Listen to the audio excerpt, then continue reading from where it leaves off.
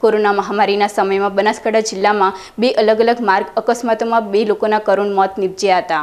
ડીસાના આખોલ ગામ પાસે બ્રિજ પર અકસ્માતમાં બાઇક ચાલકનું તેમજ પેછડાલ પાસે હિટ એન્ડ રનની ઘટનામાં મહિલાનું કરુણ મોત નીપજ્યું છે. બનાવને પગલે સ્થાનિક પોલીસ ઘટનાસ્થળે પહોંચી આગળની કાર્યવાહી હાથ ધરી હતી.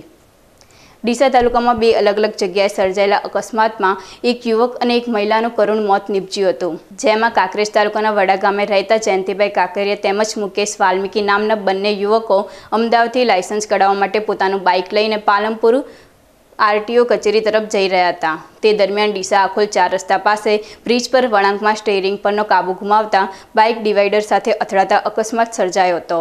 અકસ્માતમાં બાઇક ચાલક જયંતિભાઈને માથાના ભાગે ગંભીર ઈજા પહોંચતા તેમનું ઘટનાસ્થળે કરુણ મોત નીપજ્યું હતું. તો અન્ય એક અકસ્માતની ઘટના ડીસા તાલુકાના પેછડાલ પાસે પણ બની રહી છે.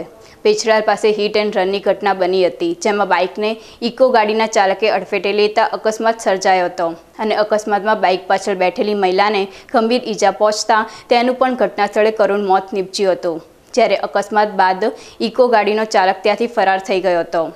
અને ડીસા પાસે આજે બે અલગ અલગ જગ્યાએ સર્જાયેલા અકસ્માતમાં બે લોકોના કરુણ મોત નીપજ્યા હતા.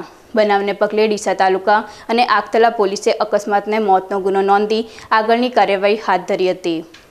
બનાસકાંઠા જિલ્લામાં એક તરફ કોરોના વાયરસની મહામારીમાં અનેક લોકોના મોત નીપજી રહ્યા છે, તો બીજી તરફ અકસ્માતોની સંખ્યામાં પણ બનાસકાંઠા જિલ્લામાં સતત વધારો થઈ રહ્યો છે. એક પછી એક નાના મોટા અકસ્માતમાં અત્યાર સુધી અનેક લોકોના મોત થઈ ચૂક્યા છે.